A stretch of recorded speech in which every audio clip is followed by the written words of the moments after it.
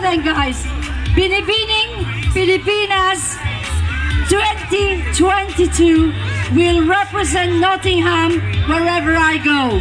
So she will have to come along with me because I do a lot of fundraisers, I support a lot of communities, and my Binibining Pilipinas is going to have the virtue of being charitable and promoting the culture of the Filipino community all over the UK.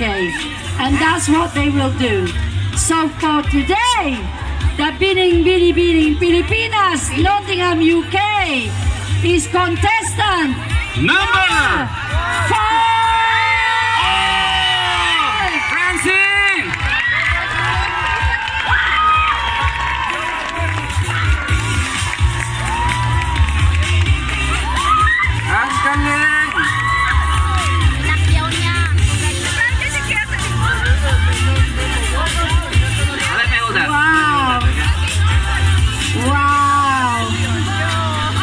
That one, yes, your voucher. Be careful you don't drop your trophy. And that one.